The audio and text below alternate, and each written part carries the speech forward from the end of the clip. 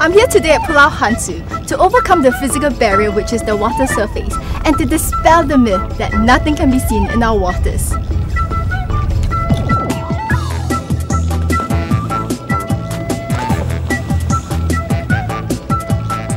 While Sue goes to explore the undersea world, I think I'll take a slightly drier approach. I'm staying vertical.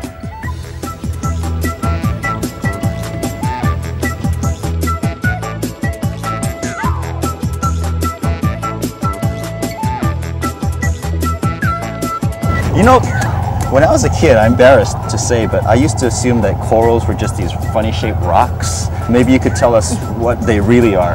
You shouldn't be embarrassed. When I first started learning anything about corals, I used to think they were plants. But it turns out that they're actually animals. And there are some corals that are hard, like if you feel this one, it's stiff. Okay. That's because they have an exoskeleton and they extract the calcium from the water and they use it to build these structures in which they live. And they are colonies, so this is actually millions and thousands of little tiny animals living together. If you look closely, and you can see there are little dots. Okay. Each one of those dots are actually one animal. Some corals don't have these exoskeletons and we call them soft corals. So generally there are these two main types of corals.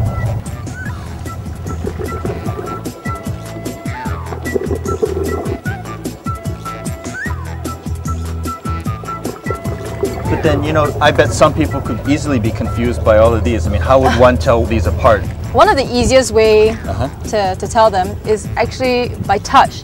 Okay. And this one you feel it's kind of rough. And this is actually a kind of sponge, a green branching sponge. Green sponge, huh? Yeah. Okay. And actually, if you look over here in this one, they have a small cluster of little animals. These are called zoanthids. Yeah, I was, I was wondering what they were. Th- so that's not part of the coral? no, Okay, so, Yeah. so what are they? they're also kind of small animals. Uh-huh. Each one of these are again single animals. So we have the zoanthids that are living together with this colony of coral here. Okay.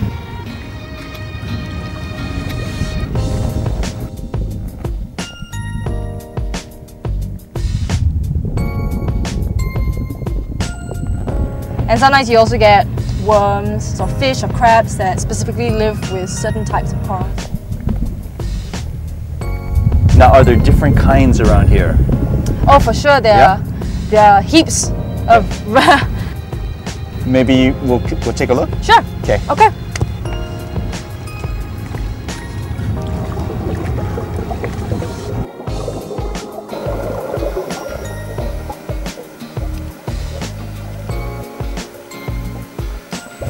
Debby, this pink blobby thing. Remember just now I mentioned that there's hard coral and soft coral? Yeah, uh-huh. This blobby thing is actually soft coral. Again, if you touch it gently, Mm-hmm. you know, it's not as rigid and stiff as the, the hard coral because this one doesn't have an exoskeleton. Okay. Yeah. Huh. So when it's dry like this, when most of the water is low, it kind of flops over like that. But if it's submerged, it actually stands up. Looks Ah, prettier. okay. Something else that's interesting to talk about. Let's look at this other kind of hard coral over here. Okay. What makes this particularly interesting for our viewers? Compared to the previous hard coral we were looking at, this one is, you know, got lots of color. Okay. Now corals actually don't have colors. The tissue is transparent. But, but they're green. Yeah, and that, that color actually comes from a kind of microalgae that lives within the coral. Okay. The algae, like all plants, photosynthesizes during the daytime and it produces these sugars which is consumed partly by the coral. Do the coral eat their own food though? I mean, they're just mooching off the algae or? Sort of. Why the algae lives with the coral is because the coral gives it a little house to stay in so it you know kind of has the security of not drifting off somewhere else. Okay. And so this is one of those classic, what do you call those in biology? You know, when we're students? Symbiosis. There we go, symbiosis.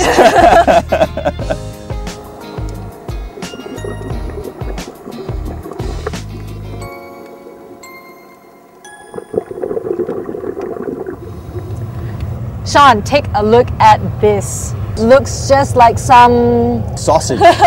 It's actually squid eggs. These are Yep. squid eggs. Mm-hmm. Amazing, look at that. So now I know where your food comes from. Uh-huh.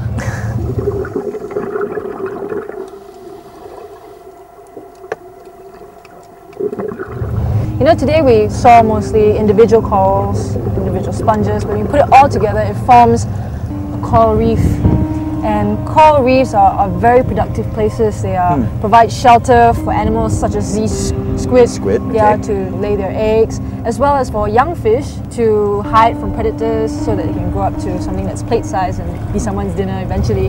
But they're also very biologically diverse. They're a great place for research and also to study like medicines and chemicals and a lot of research is being done in that area but at the same time reefs are disappearing at a very very fast rate so it's very important that we protect them and reefs also provide the service of protecting our coast they, they give us something for free that would otherwise cost tens of hundreds of millions of dollars every year without reefs countries have to spend vast amounts of, of money to to build things like seawalls to prevent erosion and dredge and move soil and, and uh, sand during the tsunami. If Right. the reef actually prevented certain areas from being severely damaged because they hmm. broke the force of the wave. That's why some of them are called barrier reefs because they are a barrier between the ocean and the coast. It's amazing. What a day. Thanks to you, I've seen so much today. I bet you Sue didn't see as much. I, mean, I know Sue didn't see as much. Or, or if she did, then her mask got like all foggy and she couldn't see anything, you know, or the fish went away, you know, I'm sure. Incredible. Thanks, thanks, Debby. You're welcome.